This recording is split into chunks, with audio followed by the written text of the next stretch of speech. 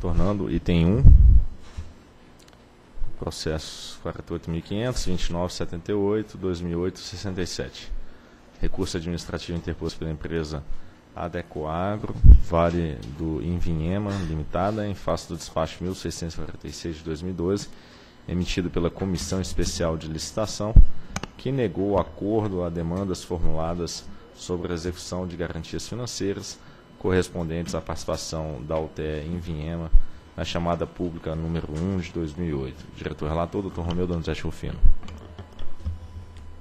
Por meio do despacho 1646 de maio de 2012, a Comissão Especial de Licitação da ANEL, no uso das atribuições conferidas pela Portaria 1877, negou provimento ao pedido de acordo solicitado pela IVIEMA Agroenergia Limitada de redução ou parcelamento do valor pertinente à execução de garantia referente à apólice de seguro aportada para fins de participação em chamada pública 01-2008.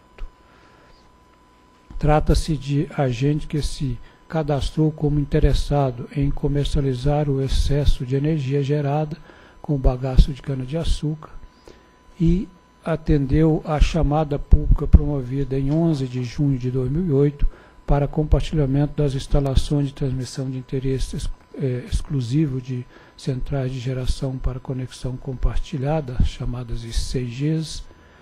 Estas foram dimensionadas pela empresa de pesquisa energética EPE, implantadas mediante licitação a partir das subestações coletoras integrantes da rede básica do Sistema Interligado Nacional dos estados Mato Grosso do Sul e Goiás. Em 23 de maio de 2012, recorreu-se da decisão da Comissão Especial de Licitação com base em síntese nos seguintes argumentos.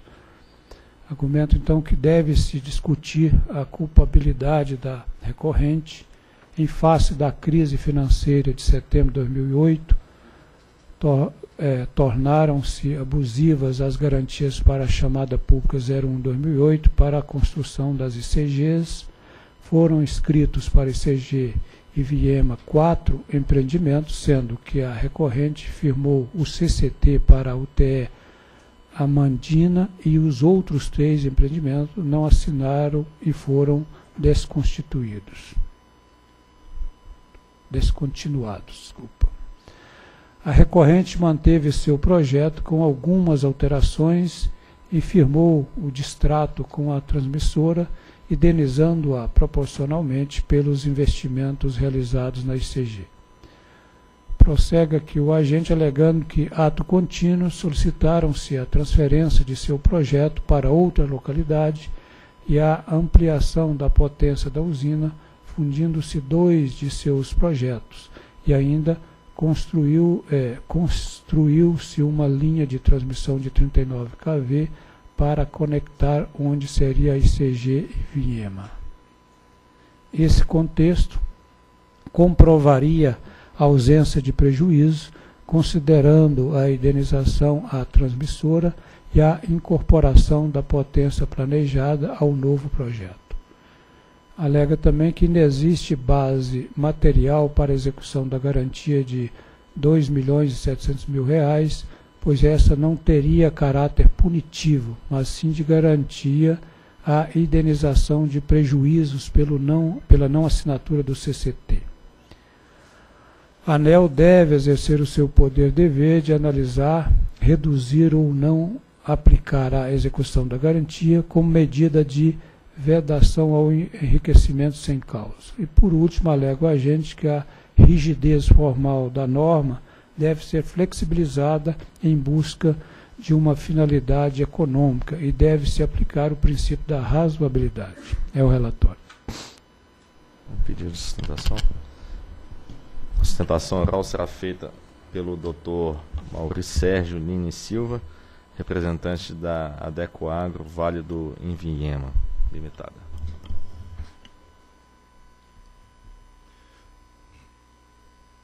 Prezados diretores, demais membros da mesa e público presente. A garantia financeira aportada na chamada pública 01 de 2008, ela previa que, no caso da não assinatura do CTT, por culpa exclusiva do empreendedor, essa garantia poderia ser executada para indenização à concessionária de transmissão. O edital, por óbvio, não podia e não trazia o montante dessa indenização, porque isso só poderia ser a, a, averiguado a posteriori. Mas o edital trazia, sim, a necessidade, primeiro, de se comprovar a culpa exclusiva do empreendedor pela não assinatura do CTT. Esse já é o primeiro ponto que continua aberto desde 2008 até hoje. Porque, à época, quem não quis assinar o CTT, e não foi só do lote B, foi também dos outros lotes com dezenas de empreendedores, foi a concessionária de transmissão. Isso provocou uma reunião aqui na ANEL e uma demora para assinatura dos CTTs de seis meses. Só após seis meses e com a ANEL forçando o concessionário é que a concessionária de transmissão resolveu então aceitar a assinatura desses contratos. Quando ela fez isso, a crise financeira já tinha a, a, aumentado de tal forma que esses empreendedores não conseguiram mais seus financiamentos. Mas no caso específico, tem outros pontos que merecem análise. Por exemplo, o recorrente ele tinha dois empreendimentos nesse lote e dois empreendimentos, duas UTEs idênticas, cada uma com 96 megawatts. Uma delas ele firmou o CTT e firmou esse CTT em junho de 2009, quando a ANEL obrigou a essa assinatura à concessionária de transmissão, e quando chegou agora em setembro de 2011, ele distratou esse CTT, chamou a concessionária de transmissão, perguntou a ela o quanto ela tinha investido naquela ICG que não foi para frente e a indenizou no valor de 353 mil reais, que foi o montante que a concessionária de transmissão disse ter gasto e pediu para firmar o CCT. CTT assinado, assinado com a ANS, tudo bonitinho.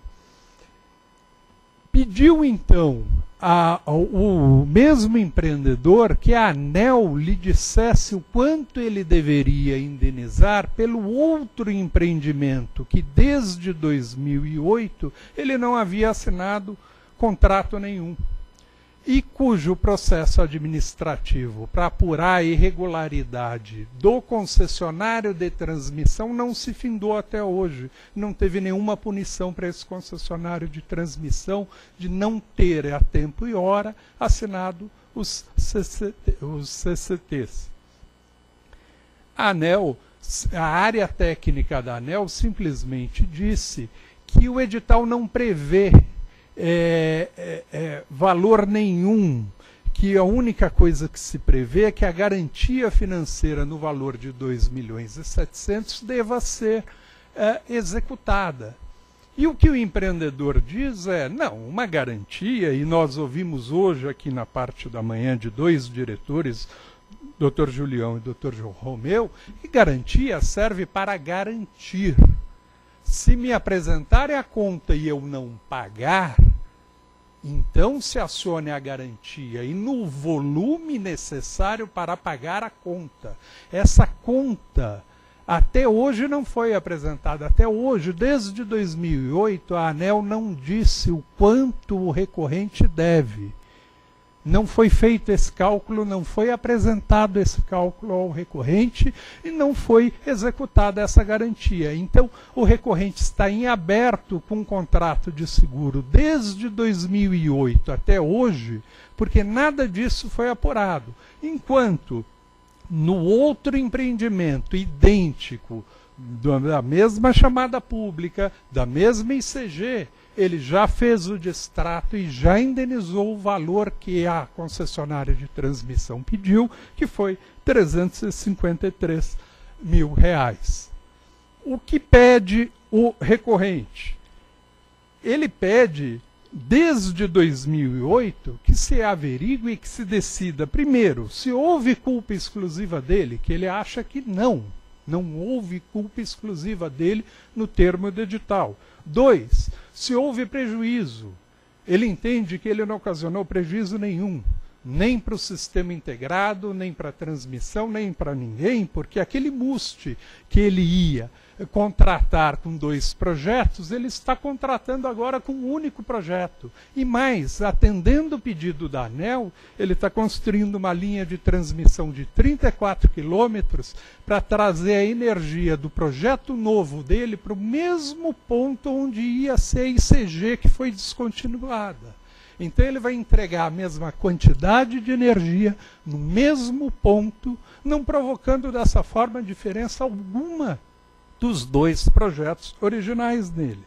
Se mesmo assim algum prejuízo ele desencadeou, que apresente a conta, que ele paga, mas que não se execute uma garantia que serve como garantia antes que se apresente a conta. É isso que se pede. Obrigado. Procuradoria. A Procuradoria reitera o parecer 627 de 2011 opinando pela possibilidade de execução da garantia referente-se à pólice de seguro aportada para fins de participação em chamada pública número 1 de 2008. É, só um esclarecimento, claro que quando eu mencionei, imagino que o doutor João também, aquela situação da garantia era uma outra modalidade de garantia, que era uma modalidade de garantia de pagamento de uma obrigação perante terceiro. Era uma outra modalidade, não, é, não se confunde com esse tipo de garantia aqui.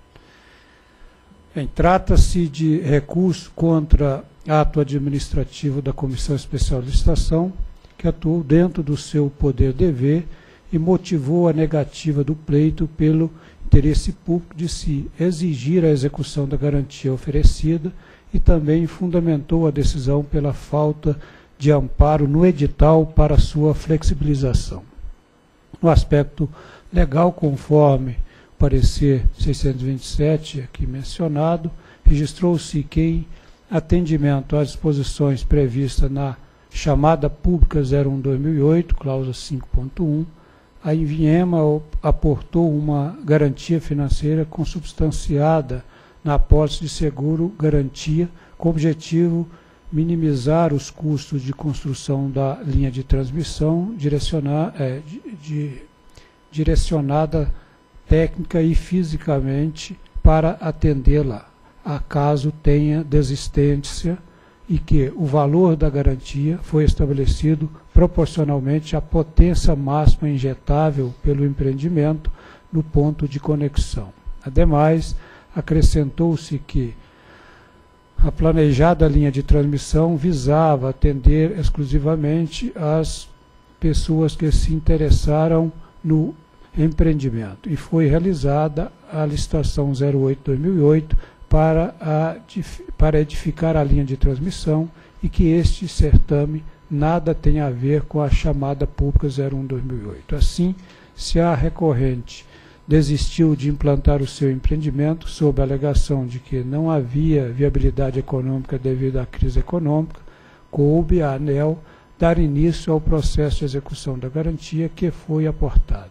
Isso porque dificuldades em captações financeiras eh, inserem-se no âmbito da gestão privada do empreendedor e não afastam o poder dever tipicamente público de exigir a execução da garantia oferecida. Nesse ponto, o edital da chamada Pública 01-2008, conforme registrado pela PGE, foi transparente ao estabelecer no item 5.6.1 que as garantias financeiras seriam executadas por determinação expressa da ANEL, sem prejuízo de quaisquer outras sanções previstas na legislação, na hipótese de desistência do empreendedor de participar das ICGs, mesmo no caso de alteração do ponto de conexão apresentado em caráter preliminar.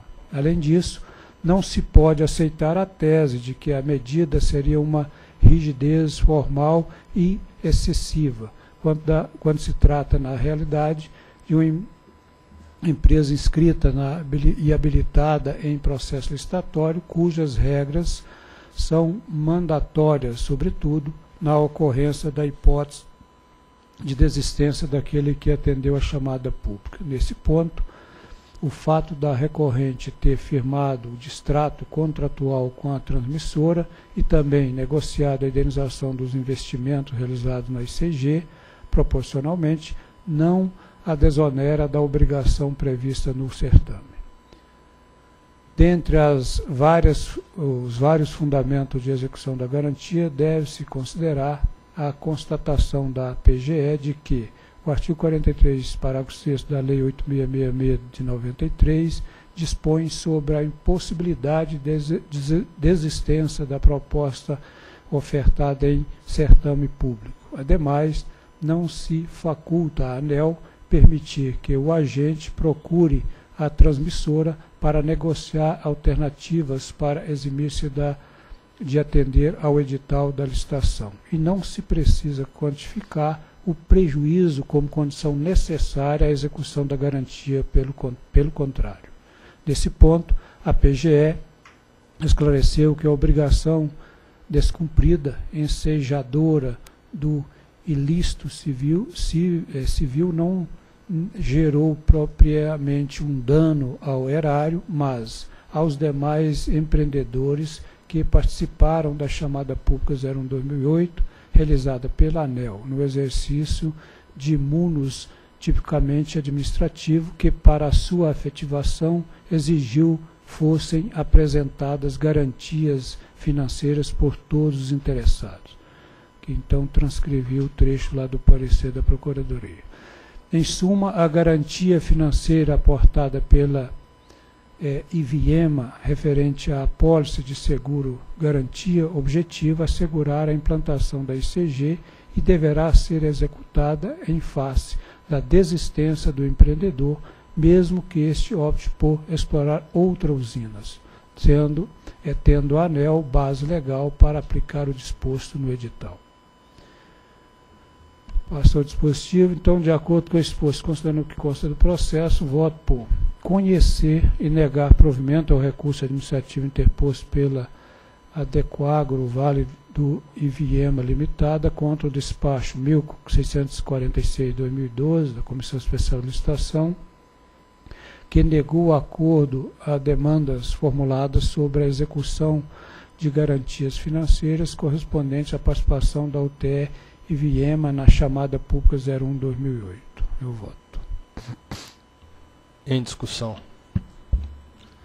Aqui, doutor, eu fiquei só numa dúvida aqui. Tem uma, uma no relatório tem a transcrição de um no item parágrafo terceiro do relatório tem a transcrição de um argumento da empresa de que deve se discutir a sua culpabilidade. Depois menciona-se que havia outro quatro havia outros quatro empreendimentos é, participantes da chamada pública, mas que três foram descontinuados. A razão pela desistência dela foi a desistência dos outros três? Não. Ela desistiu por. Eu entendi que não, mas talvez a área possa confirmar esse entendimento, porque isso. É, eu entendo que uma coisa não está vinculada à outra, mas eu. É, ela desistiu independente das outras desistências. É isso que eu entendi, mas não. É isso. Tá.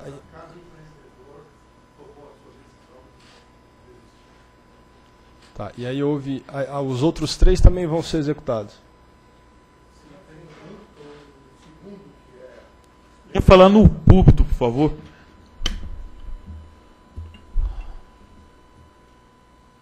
É, nessa nessa subestação, que é a subestação de Viema, nós tínhamos quatro empreendimentos de geração se conectando lá. A UTE Amandina e a UTE Ivinhema, que são do mesmo controlador, a Decoagro. E depois tínhamos a Serona e a Terra Verde, se não me falha a memória. Terra Verde. São outros dois empreendedores, outros grupos. No caso da.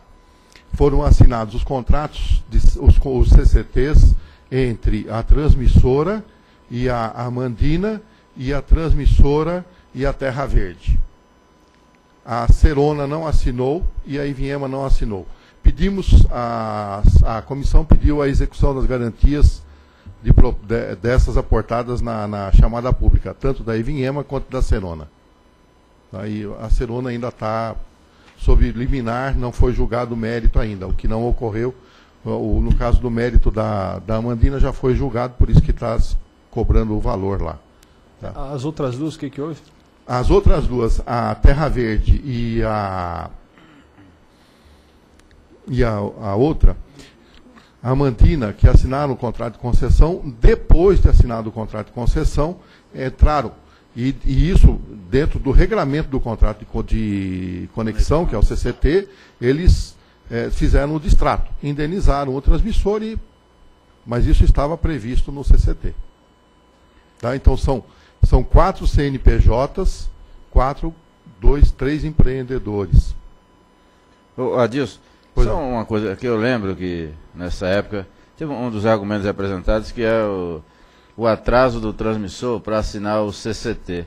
Eu lembro que eu estava em uma dessas reuniões, eu fui relator, acho que dessa chamada pública, da, Foi. foi a primeira ICG, né? Isso. E de fato, tanto que a ANEL teve que intervir, porque o, o transmissor, se eu não me engano, ele estava exigindo mais garantias do que aquelas garantias padrão para que assinado o CCT. Aí, essa discussão já leva em conta todos esses atrasos e tal? Sim, leva em conta todos esses atrasos. É, na realidade não foi só o, o transmissor, né?